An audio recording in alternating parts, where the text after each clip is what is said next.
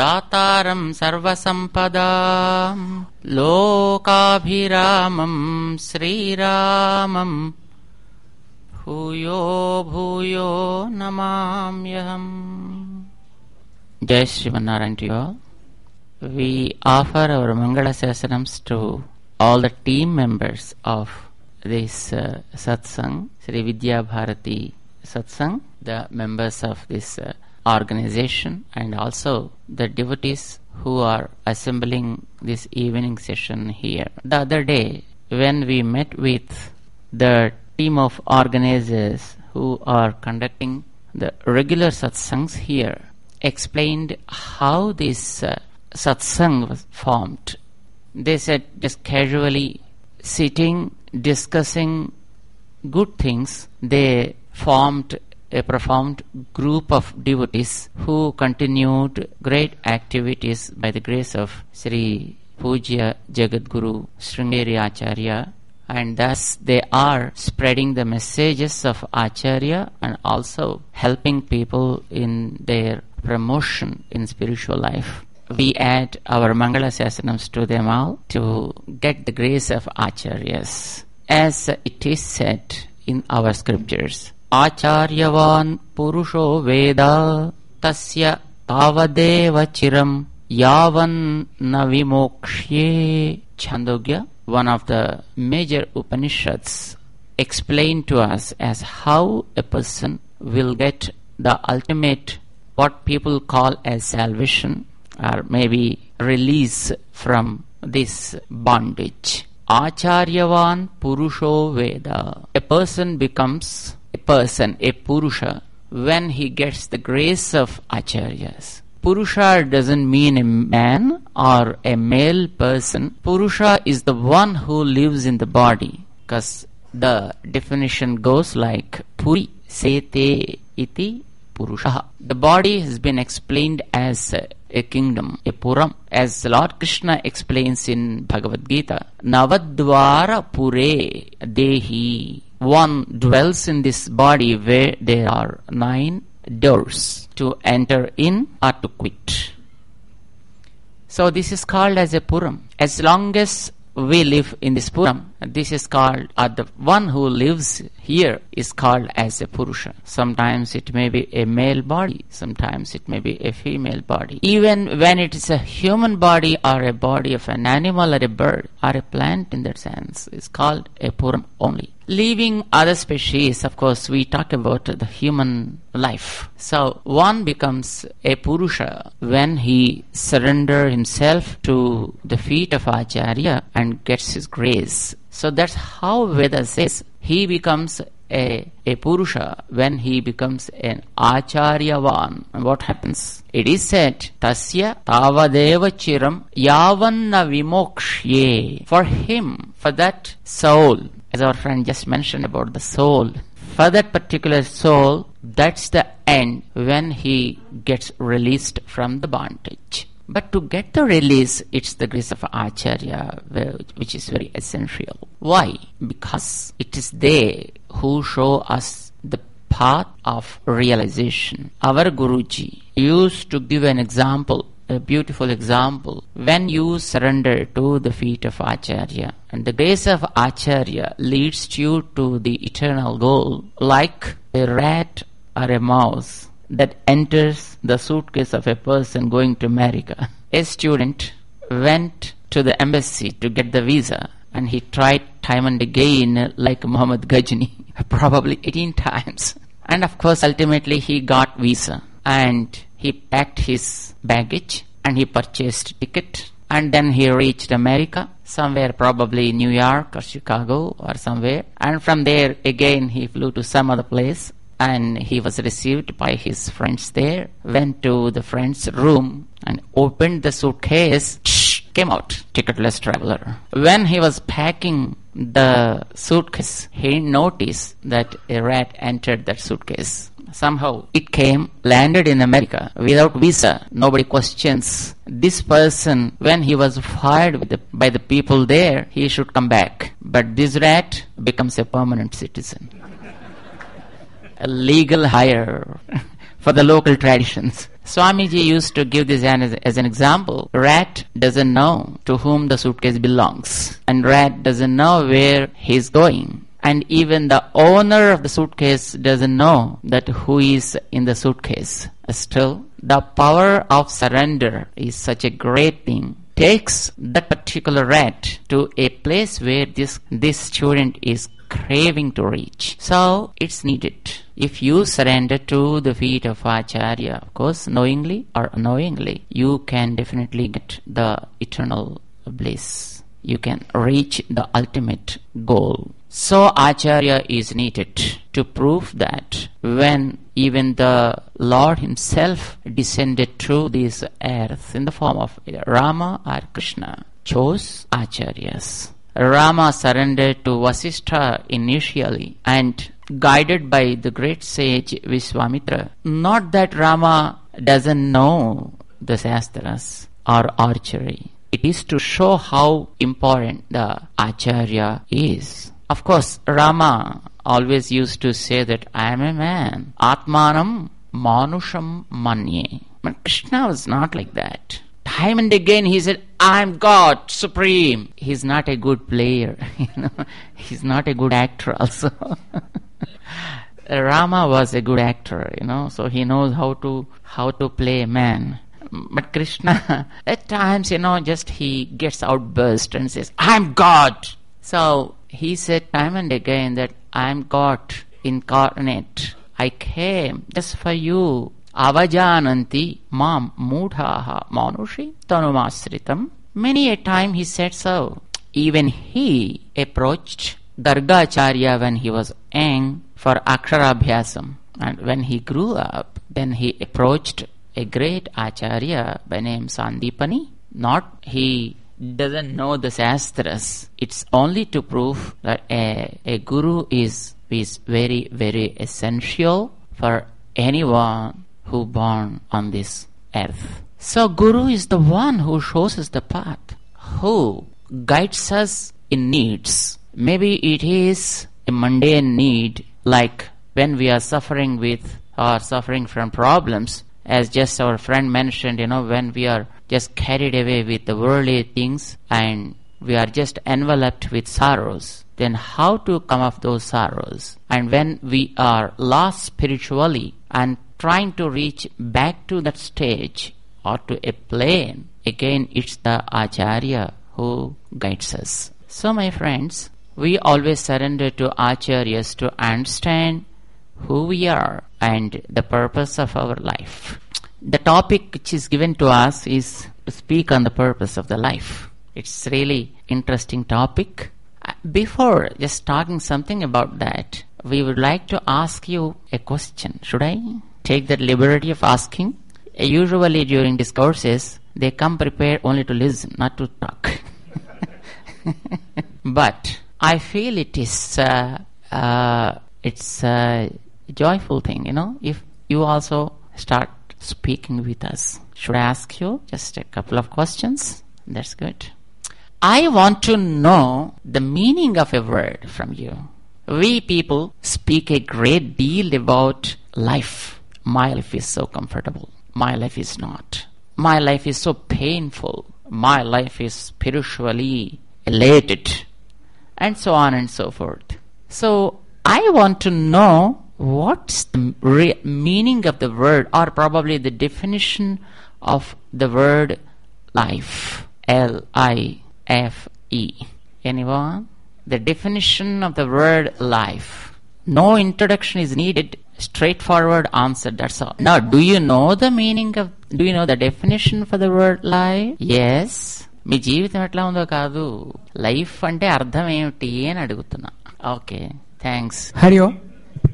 Blessed by Ishvara, the Jiva enjoying the Jagat. Or to put it technically, blessed by Adi Daivam, the Adhyatmam enjoying the Adibhutam in Gita language. That is life. there there are some more friends Life is triple E, sir. Expectations, emotions, and experiences. mm, then a tree is not probably having any life it seems I, I mean, the emotions, full of emotions, experiences, and Uh, expectations. do you believe the tree is a living being I'm not uh, telling the tree. Three E's. Tree. Triple E. Triple E. tree. I'm asking about the tree. Tree. Does Tree- tree live? No, it is Achit. It is Achit. Tree? Yes. Oh, doesn't grow? It grows, but it is Achit. It does- doesn't Pure life? When we give a definition, it should fix everywhere. Anywhere you want to apply, not only just to human beings, wherever there is life, it should match. That's the definition, right? Life means love, L, interest, feeling, event. Then what is a tiger? What is a tiger? A lion? I don't want you to speak with e- each other. I want you to give me answer. Body, body is different. Life is different. In body, there is life. Life, Hmm. Hmm. Go ahead, sir. life is you. What's that you? Can you explain?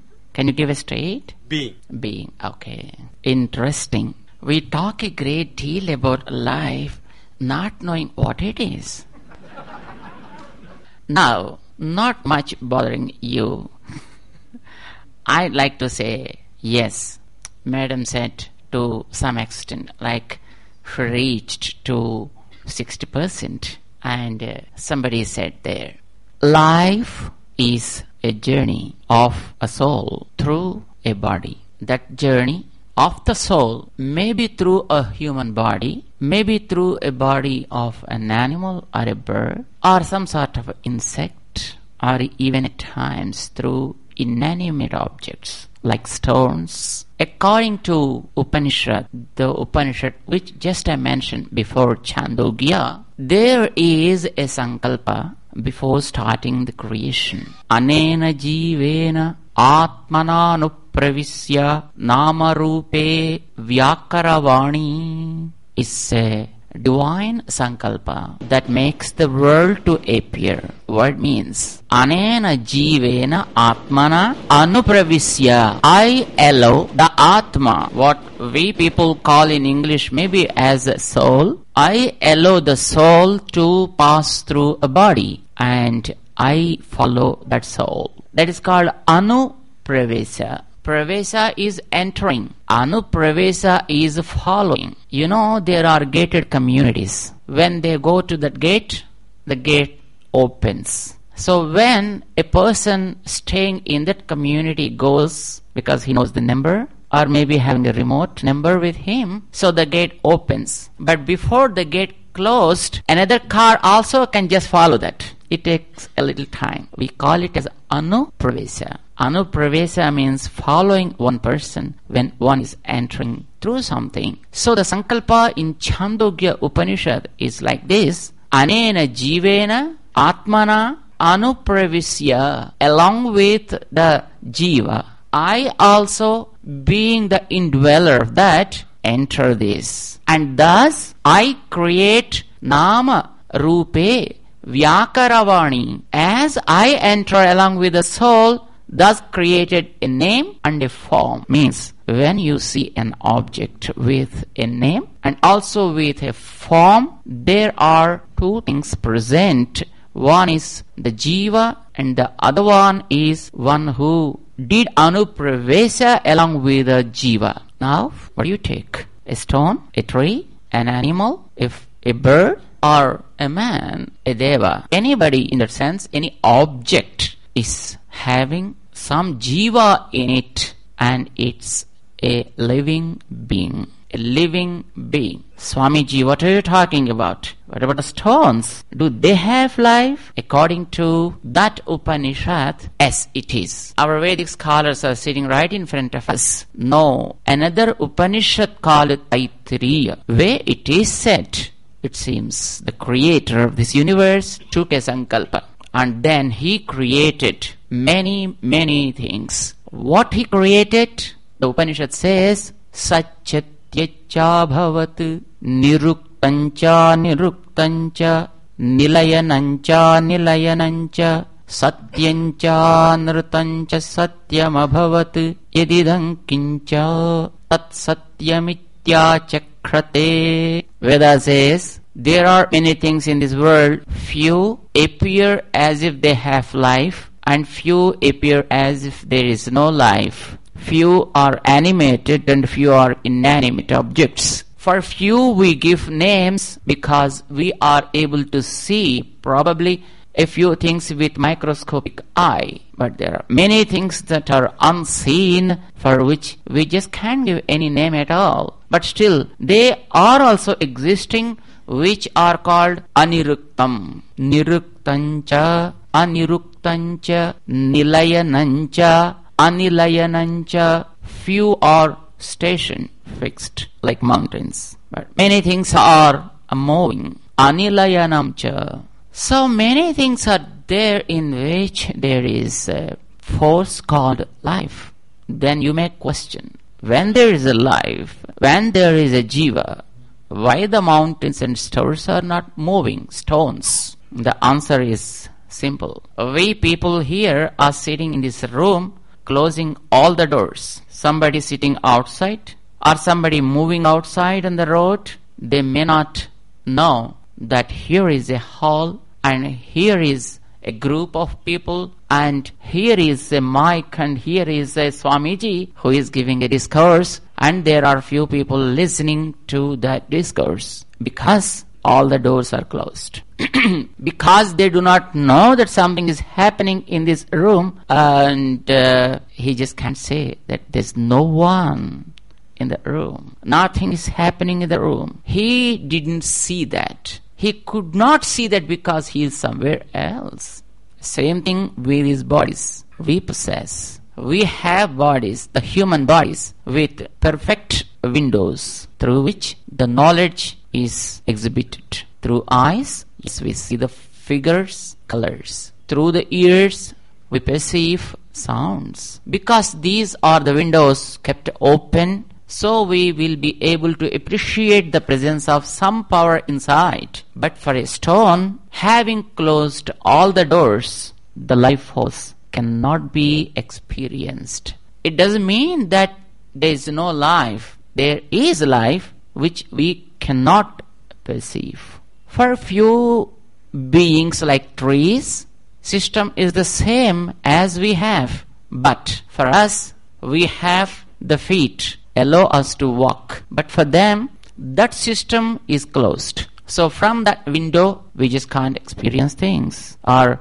the inner life force cannot move. But we have to accept that there is life even in stones and mountains. Probably if you have experience with sthapatis who make the vigrahas for temples, they talk about three types of stones, male stones and female stones like Pumsila or Strisila and Napumsakasila. When they make the male deities, they use the Pumsila. But when they make the female deities, they choose Strisila. When they select stone for flooring, for staircases, for steps and so on, they choose Napumsakasila. How do they know that? By touch. Probably by sound they understand. We heard, of course, we didn't know that, but we heard in olden days they constructed big temples using just stone, even for the Rajagopuras. In few temples, the top portion of the Rajagopura, probably which is having the width of uh, 18 feet, just made with a single stone. So we wonder how they were able to raise it to that extent when there were no cranes. What technique probably they must have followed? Then they said, Swamiji, these silas, Pumsila or Strisila or something like that, they are very easy to lift during night because the sila sleeps. so it's a strange thing to hear, you see. Sila sleeps. Are you crazy? Maybe. But it is what they say, basing upon their Silpa Sastra. It is the Sastra that talks about the stages of the stone. How does it function and why and when? So they said during the time when the Sila sleeps, Swamiji, we lift it to the height required. We felt happy anyway because it goes in tune with our Vedic literature. because according to Veda, even in a stone, even in a sand grain, there is a soul. The windows of that particular body were closed. Why? Reason is different, of course. I am not discussing about the reasons why doors are open for few uh, beings like us and why for few beings like them the doors are kept closed and by whom is not my subject now to discuss. But all that I can say in Bhagavad Gita in uh, in 15th chapter lord krishna very clearly says hey arjun it's the soul migrates from one body to the other with few plastic cards with it. You know when the people working in multinational companies you know when they go from one country to the other or when they move from one place to the other. And nowadays everywhere, when you have the ATM card with you, you need not carry, you know, any wallet in your pocket and you not carry the notes also. All that you need to carry is the card on which probably you may be having your own numbers and you can draw any money you have in your account. Same thing with the soul when it travels from body to the other. Srotram, Chakruhu, Sparsanam cha Rasanam घ्राणमेव च इन्द्रियाणि मनश्चायम् विषयान् उपसेवते while experiencing the things in a body he is using all these six instruments five external instruments and one inner instrument arjun शरीरं यदवाप्नोति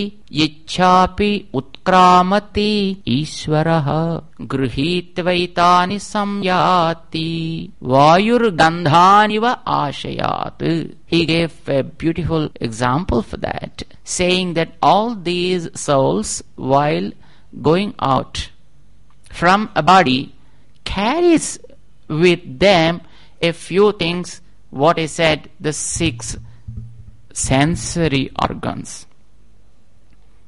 Five Jnanendriyas, one leader. They take all these things with them from one body to the other. There they start their own fresh account, keeping the old balance, whether it's a minus balance or plus balance, whether it is uh, punya or papa karma. How? Hey Krishna, when the soul goes out, I should see that, right? But I'm not able to see anyone. Many a time ask doctors. When they take a patient to the, of course not our doctor, because our doctor's job is not uh, no dealing with heart or lungs or liver or kidneys. A little bit tension free job because only dealing with the eyes. He may be having some other tensions, you know, but not critical as the other organs of the body are. So when one patient was admitted into the hospital and the relatives of the patient were just sitting outside, doctor said, I have to wait for one hour, then only I can say something. No problem, doctor. We are waiting here for your word. They waited, waited, waited. Doctor came out and said, because he's the nice brother of Maharaja anyway. so anybody enters his hand, so he saves that soul anyway. so that person was helped. And doctor came out and said, Friend, I am so sorry. What happened, doctor? And he passed away. No, doctor, we are here. We didn't see him at all. yes, we can see. Because soul is not a thing that can be seen by our eyes. And uh, the things that he carries with him, like senses, and all the stocks of karma, can be seen at all. Because they are always in the software form. So we just can't see them at all. But Lord Krishna very clearly said, Sariram yadavapnoti ichchapyutkramati ishvaraha gruhitva etani samyati. So he carries all these things with him and thus he migrates to the other body. It means soul makes journeys from one body to the other no matter whether they are human bodies or some other bodies. Now, what we call as life is the period when it's just making its journey through a body. If it is through a human body, yes, you can call he is or she is a human being. Or if it is an animal like things, then you call it an animal. Or whether it is a bird, then you call it is a bird or insect. But when the journey is up, then the name give is a one. Maybe it's a man or a woman or an animal or a bird. It's a corpse. It's a dead body. No matter whether it's a male dead body or a female dead body, it's only for the medical students, not for you or me. So, journey of the soul through a body is called as life. When it starts, when it ends, we know when it ends because doctor declares yes it's over because he's licensed to do both.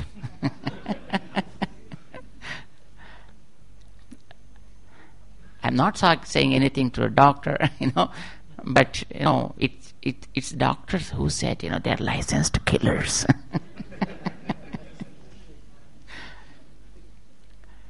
So they have a right to say yes he's living and he's not living. We may be living but if doctor says he's not then nobody accepts you that you are a living guy. So it's funny. But it is true. Some people have to go to the doctor always and doctor give me a certificate that i am living so that i can get my pension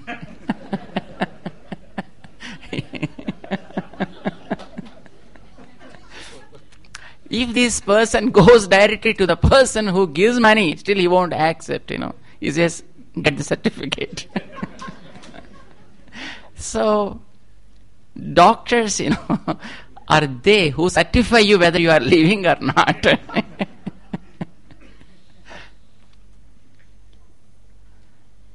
we know when the life is stopped. But we don't know when it is started and exactly at what time.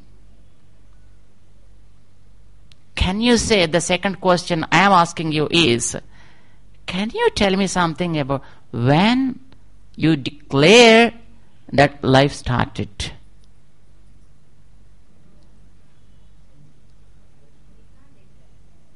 You can't. Dr. Saab, can you tell me something about it, please? when the life started,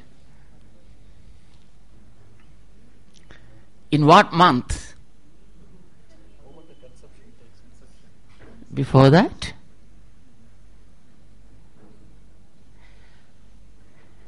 It's not exactly during the pregnancy time,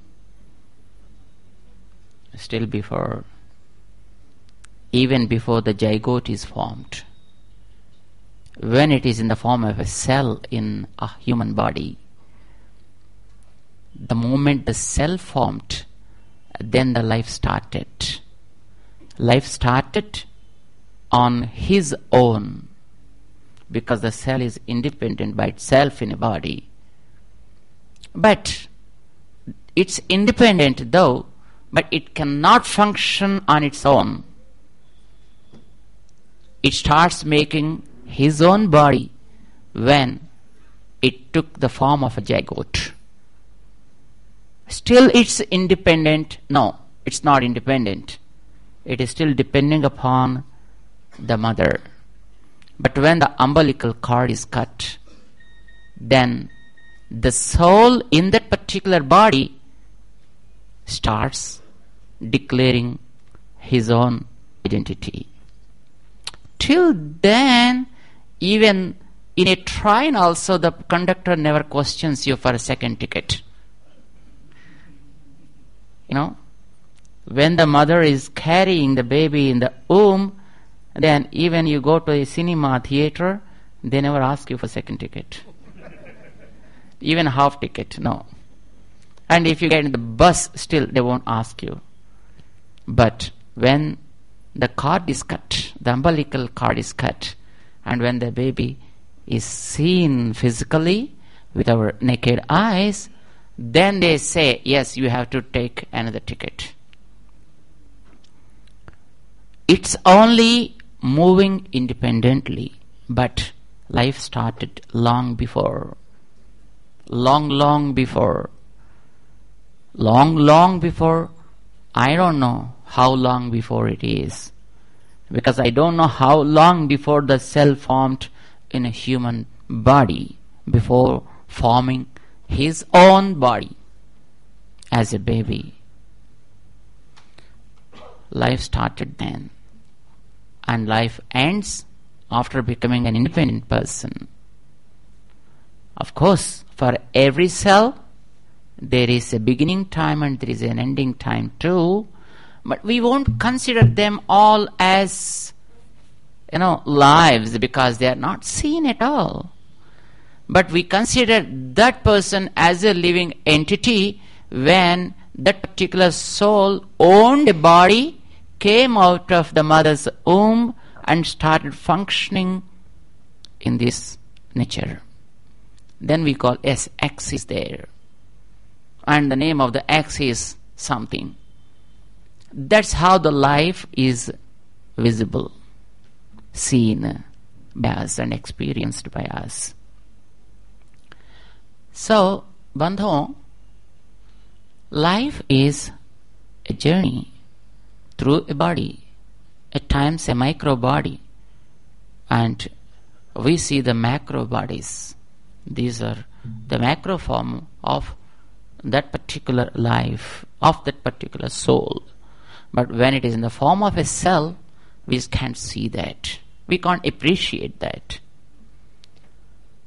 This is life. We are talking about the life, right? It's a journey.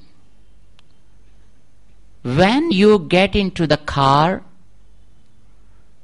and when you are traveling in the car, before getting out the car, the time is called as a journey. So when you are home, and nobody considers that you are in journey. But when you literally enter the car, and before getting out of the car, that middle period is called as journey period. So also for the soul, we are now traveling, and I am traveling in a boat, and every one of us are in the same journey. Of course, distances are different. Probably I covered 50 miles out of 100, and some other, probably you must have covered 23, 25, 50, 60, 70, 80. You know, this is how we are covering the, the distance. But we are in a vehicle, and the vehicle is called body but you are in this body and you are leading a life. When you are in a body or in a vehicle, maybe it's a bus, boat in the waters, or in the space in an aeroplane, there will be definitely some sort of turbulences. When we started from home, our uh, uh, our car was you know stuck in traffic. Yes, what can we do? At times it it so happens like that. But in other places when we travel, yes, the roads are so rough. At times the roads are so fine, wonderful roads. But still something comes on the way and then sudden break and then we hit the front seat. At times even that also happens when you are in a boat in waters, then there will be tides. Sometimes low tides, sometimes high tides. So when there are low tides, then you feel comfortable because your sailing will be smooth. But when there are high tides, yes, then you feel something discomforting in your body, and also there is a feel of insecurity whether you are able to reach or not, or something like that. When we travel in the flight across the skies, then at times it comes down. They call it probably airbags or something like that. Air pockets, yes. they call it air pockets. And something like something happens in, in, in the stomach you know, during that, that time. So, journey may not be always comfortable. There will be always ups and downs. When there is a down, you call it is sorrow, sad, pain, and when it is up, then you may feel it is joy or happiness and comfort and punyam. And when it's going down, it's papam. When it's going up, it is punyam. But it's a journey. Yes, it's a journey. At times, yours may be a motor boat, and sometimes then you have to use your own energy to take the boat. Sometimes some helper may be there, but at times you may have to make your journey on your own. But it's a journey. What is the purpose of that journey then, and who made it? You know, that is what we have to we're supposed to discuss. Friends, it is said the purpose of a life is something like the driver in the vehicle. What is the purpose of the of the person who is in the car when the car is on the road?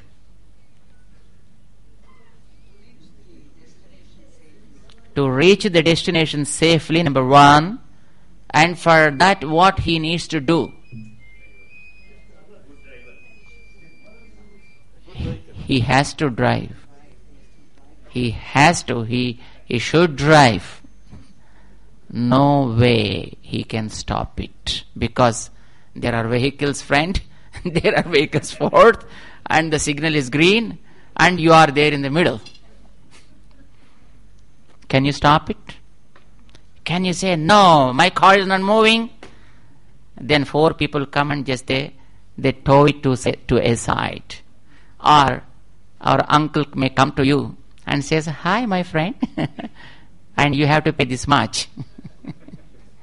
so, when you are on journey and when it's on the road or when your boat is in the waters somewhere in the middle of the of the sea or a river or a lake you have no other way than just putting your efforts to reach the other end.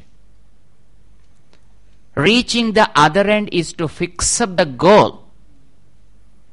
But for other end, you need not do anything. All that you need to do is to drive the boat safely, to drive the car safely. Your goal may be reaching this Tatvalok building from Kuchilambal Kalyan Mantapam you can't do anything to Kuchilambal Kalyana Mantapam or you can't do anything with the Tatva Lok building.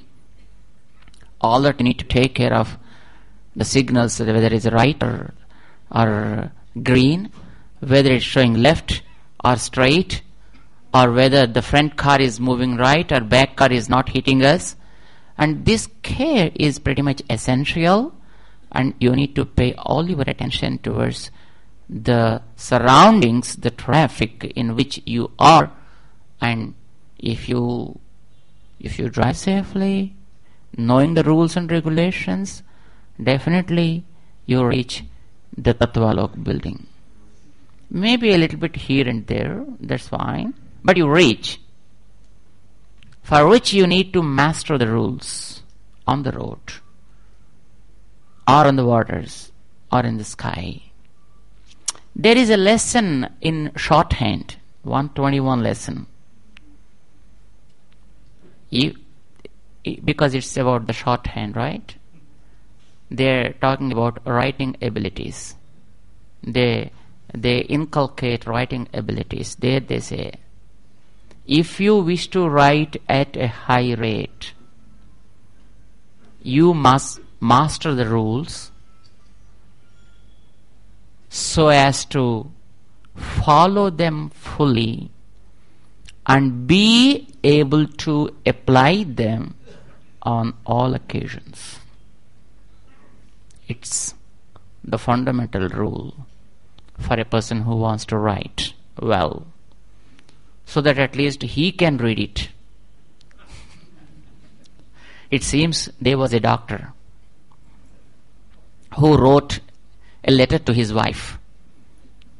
Immediately she sent it to the medical shop because he is only the one can read the doctor's writing, not even the doctor. so you should not write like that. You have to at least retrieve your own writings. So also, in a life, when you are reading a li- leading a life, you no way can stop your journey here. And about the goal, you need not do anything. Just our friend mentioned before, you need not do anything with regard to the moksha because moksha dawns on its own. Moksha is like sun. If you want to see the sun, you sat in the tapas and started meditation, do you think that sun comes up? Or if you spend a few thousands or lakhs of rupees, do you think the sun comes up? No. What you have to do for the sun to come up?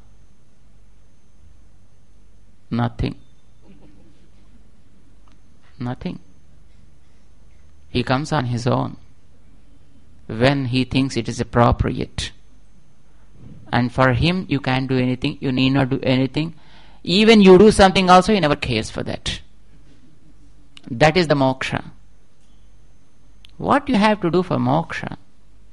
You need not do anything for the attaining moksha. Moksha comes when the time comes.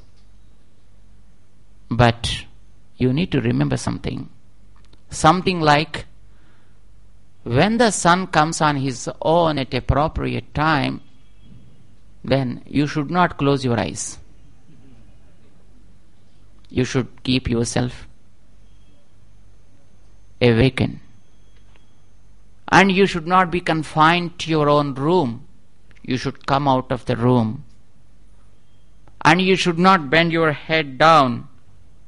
You have to raise your head and you have to open your eyes. And uh, the very important is there should not be any clouds. So even sun comes on its own, and if there are clouds, you just can't see the sun. And when the sky is clear, sun comes on his own without spending a single pie. So also the moksha comes on its own. But what you need to know is when you want to see the things, come out of the room and then keep your eyes open. Know the time when the sun comes out from the elderly people who know something about the timings of the sun to come because sun is not visible in all places the same time. For you, sun may be visible after 6 a.m. and before 6 p.m. But in places like, you know, the South Pole, and you may not be able to see sun during that time. And when you are in the North Pole, the times may differ, may vary.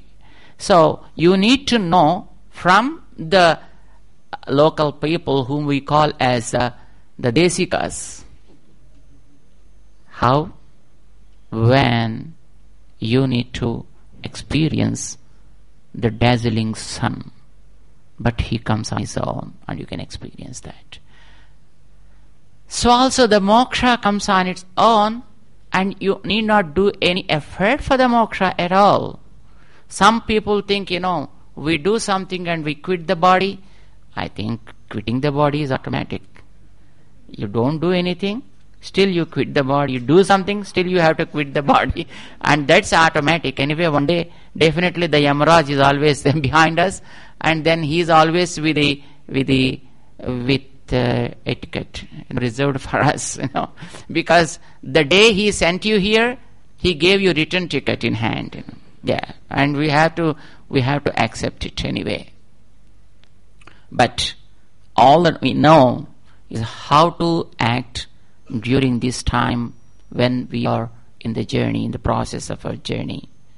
How to drive the car, or how to lead the boat in the turbulent waters. When it is high tide, then how to drive it. When it's low tide, how to drive it. And if you know that rule, now come back to the lesson in shorthand. If you wish to lead a high life, you must master the rules so as to follow them fully and be able to apply them on all occasions. The same rule even for a life, for which all the Shastras were written by the great sages. All the Itihasas written by sages like Valmiki and Vedavyasa and all the Dharma Shastras were presented to us by the great sages. Let's not go into many details like that, but we will take an example of the great Avatar Purusha, Lord Sri Rama.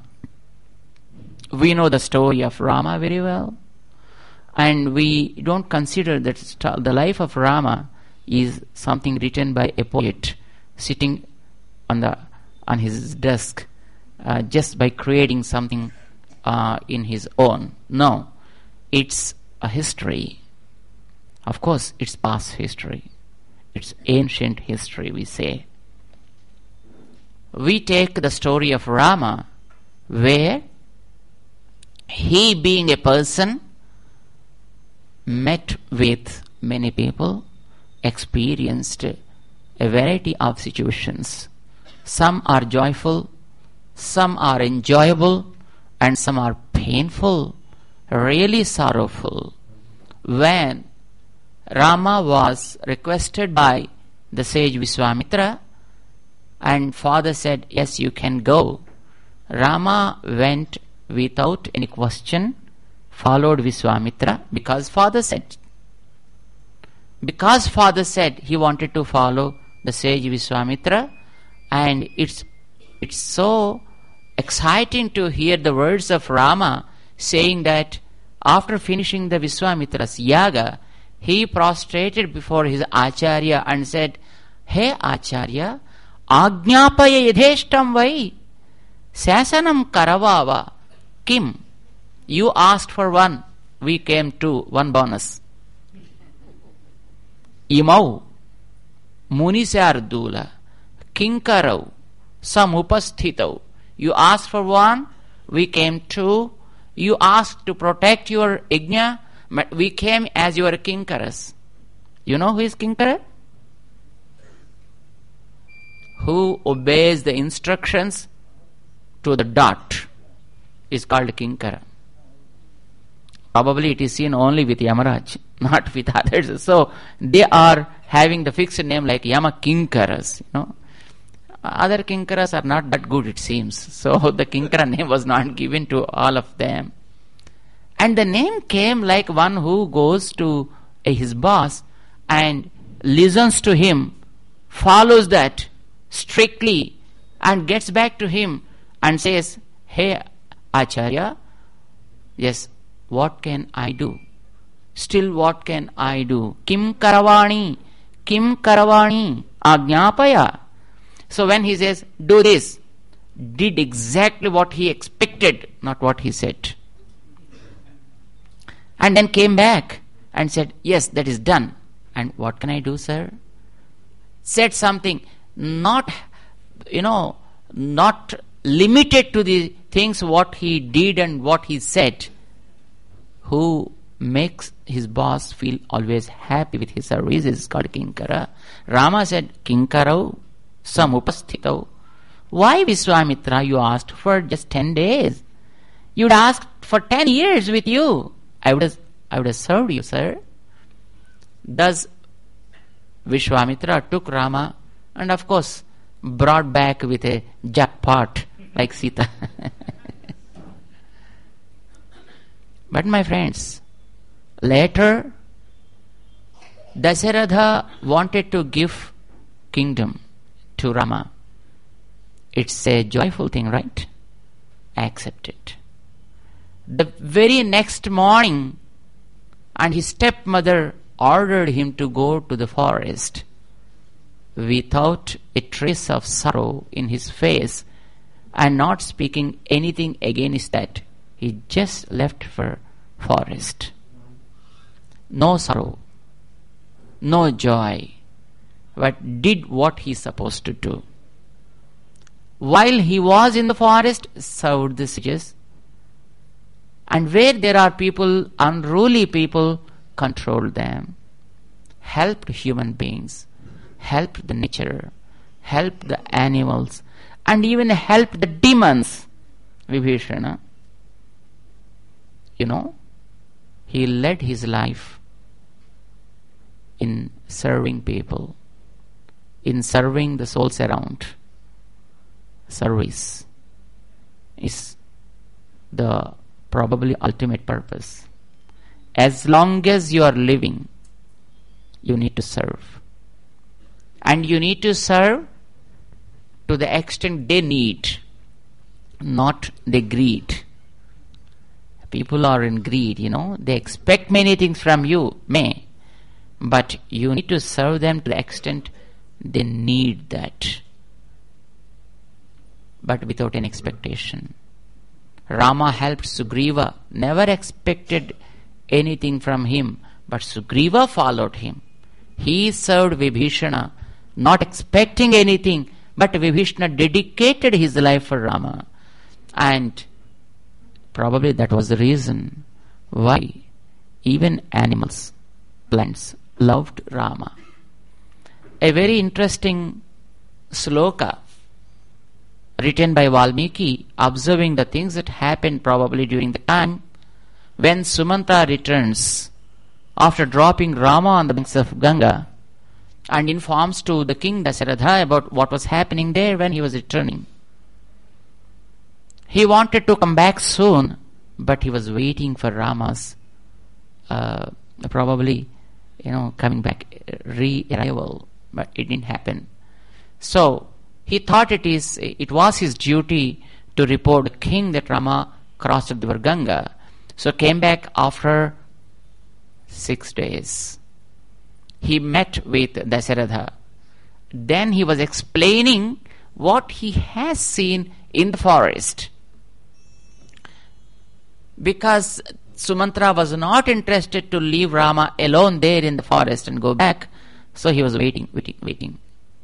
So also the horses he was, you know, uh, having to the chariot, they also were not interested in coming back. Somehow, with a with tremendous force, he turned them back and brought them to the kingdom. But they were walking slow.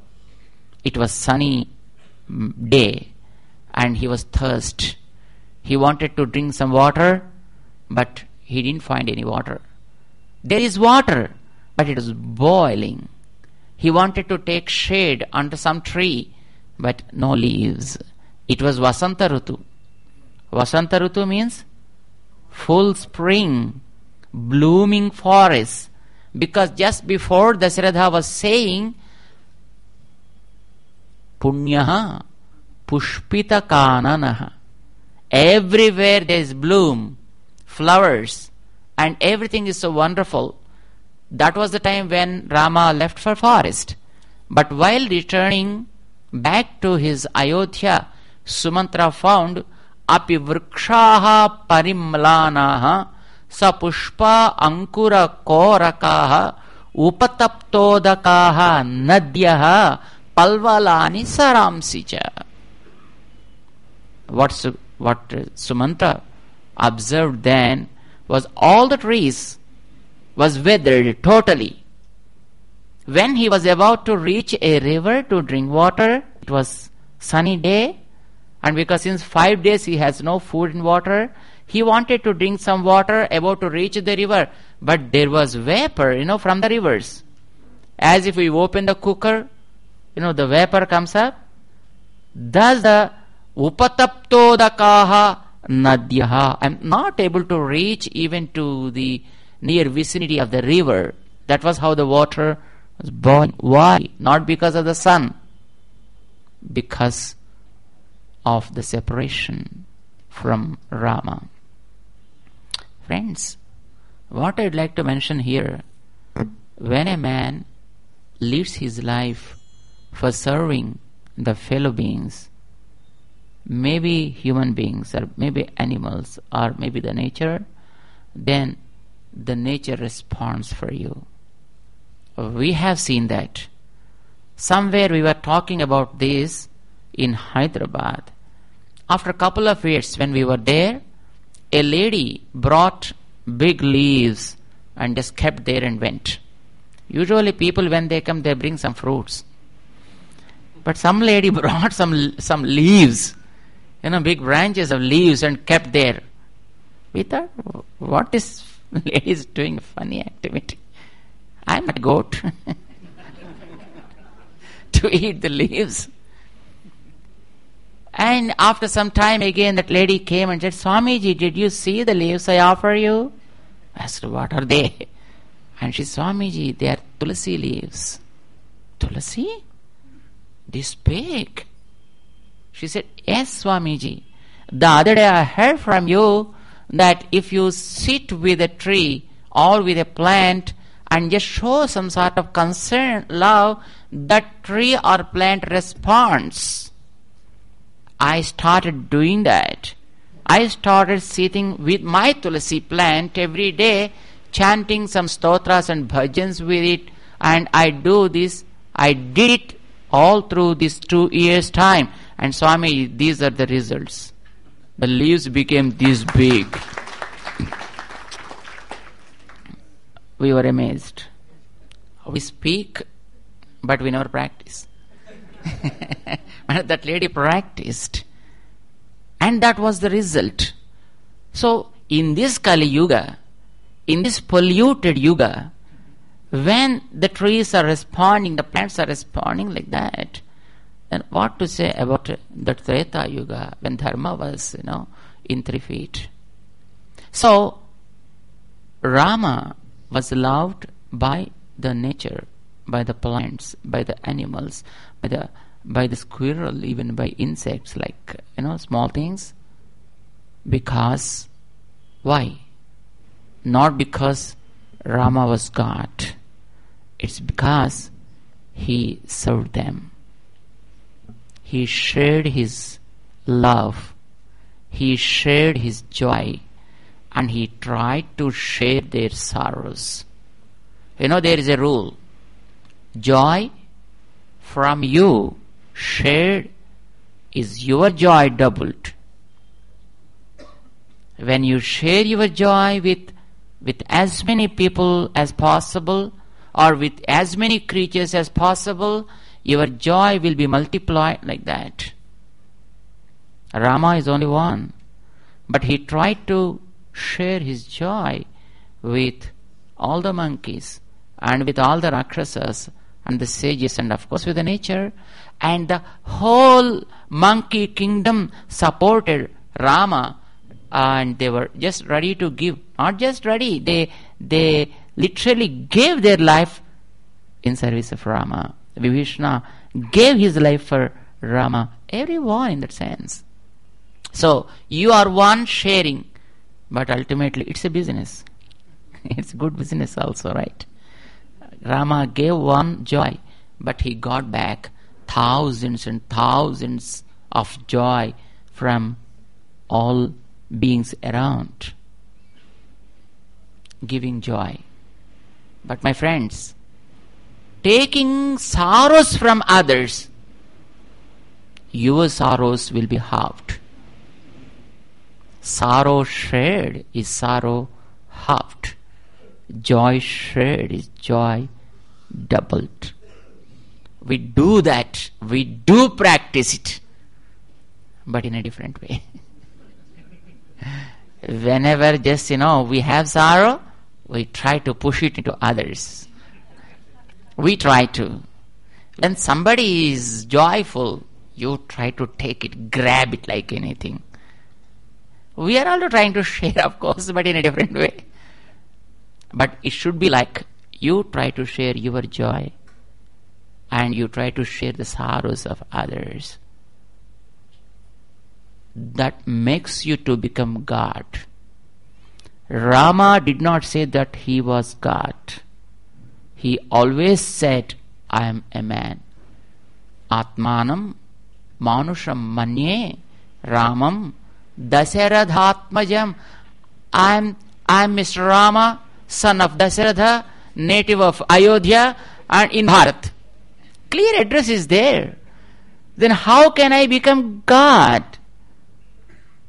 Devatas came to him and said, Hey, you are Lord Narayana, no one else. But he said, No, I want to be a man, that's it. Friends, unfortunately, those who are human beings, not having any abilities, knowing that they are incapable of many things, they they they play God. It is it's more evident nowadays. But one who helped the entire universe, when Devatas came and said, You are none else than Lord Narayana himself, then he said, No, no, don't make me God at all. I want to be one with you. I want to be a man. Atmanam manusham manye. Let me be a human being. That's fine. You, you understood what I said? Be a man. Be a real man. You will become more than God. You will be adored and worshipped even by devatas. Probably you must have heard many stories of devatas and asuras. Asuras always were teaching lessons to devatas. But devatas, whenever there was a risk, used to come to human beings to take help. They came down all the way to the earth, took the help of human beings. You understood? So when you are a real man, even devatas, even devatas like Indra and Brahma, they will come to you down to this earth to seek your help. When you are God, be careful about asuras.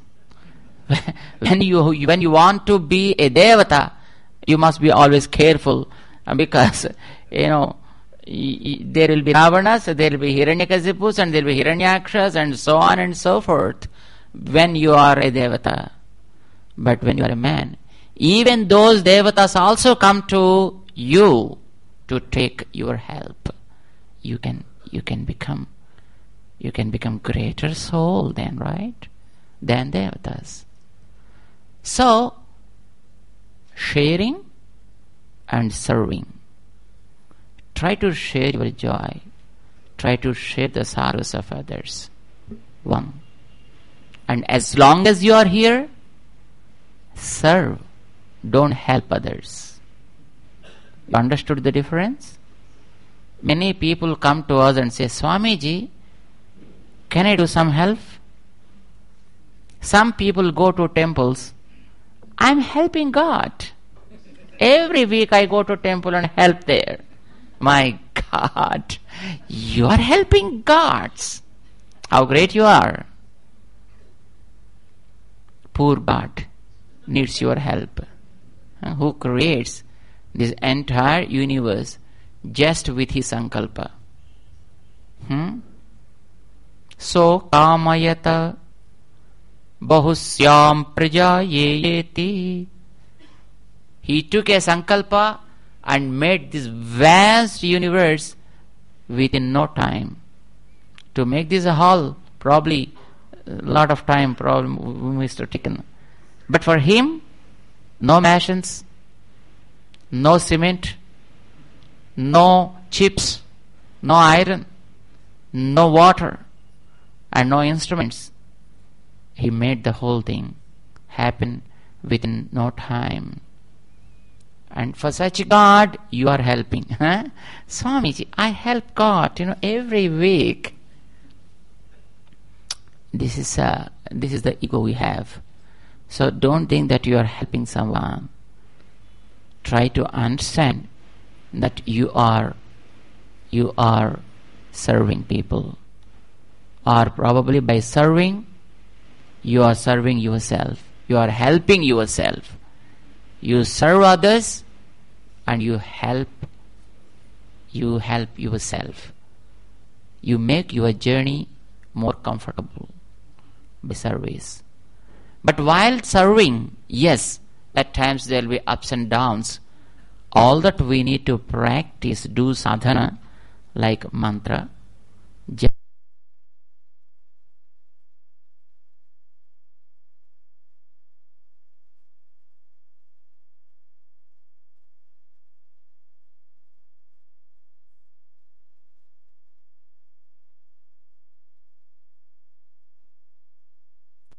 it should be helping you in keeping the shell powerful so that you need not get disturbed in spite of many turbulences. If you are safe in the shell, and then you will be always safe. It may cross through the air pockets, it may cross through different tides, or it may cross through some bumps on the road. Fine. But as long as the shell is strong, your journey is fine. So, all the practices recommended in our Shastras, as Rama showed his life as an example, is to make the shell more and more stronger. But goal is to come out of the shell. And the shell is called as karma bandhanam. This is the shell in which we are, for which you need to do things in a right fashion. You must master the rules so as to follow them fully and be able to apply them on all occasions, not during some time when you sit before deities in your puja mandir. No, always. Day in and out. While eating, yes. While snanam, yes. Even while sleeping, yes. You need to, you need to feel it. You need to apply the rules. That is serving and sharing. So if we know that, and if we make ourselves stronger, if we make our shell stronger, and definitely, yes, your journey will be done. And tasya tavadeva chiram yavan navimokshiye. Releasing from the karma bondage is is the end for this journey, and you reach that eternal bliss. Some people may define it in different ways, like whether being with God or becoming God, whatever it may be. So now it's it's only there. We used to meet with one Swamiji, Kurtalam Swamiji, the Trivikrama Ramananda Bharati Swamiji. You know, he used to say, Swamiji, you know, you Vaishnavites and we are all one.